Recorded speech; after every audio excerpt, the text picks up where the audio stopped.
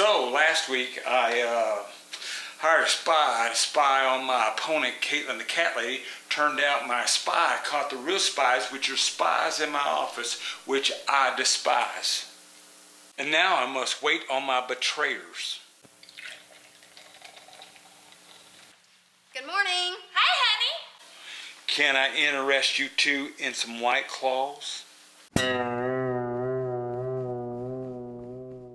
This was a 90s rom-com. To illustrate my betrayal, we'd be showing a montage with a screeching guitar while I looked off into space and thought about it.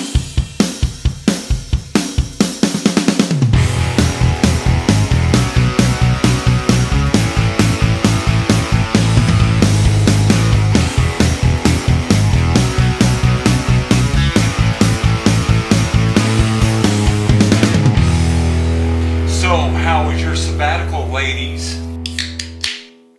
Well, you can get mad if you want to, but we did it all for you. We did? We did. Don't you remember? Oh, yeah, yeah. I have the footage, and it looked like you two were having a ball. We infiltrated their camp. What's infiltrated? We snuck in. Oh, yeah, snuck in. How? It's because we're good actresses. Me, me, me, me,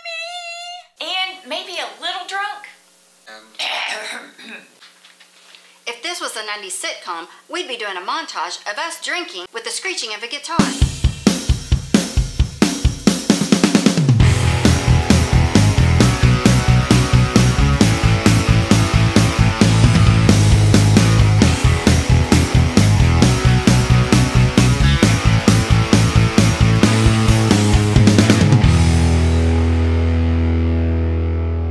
Not on your life.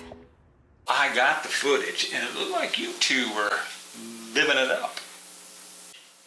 Who took that? I hired a private investigator, Beau Banning.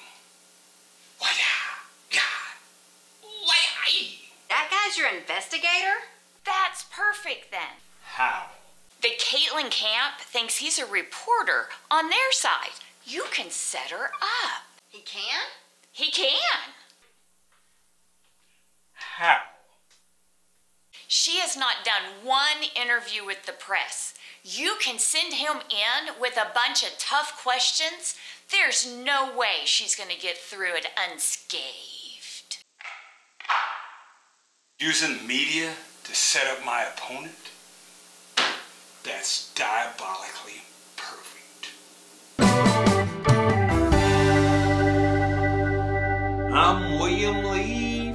Wise County Dog Catcher.